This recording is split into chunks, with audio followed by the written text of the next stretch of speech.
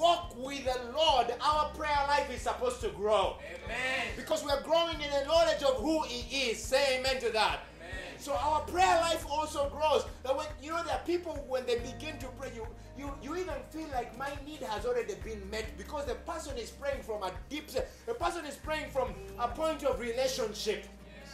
You can tell that this man or this woman has a relationship with the most high God. Oh,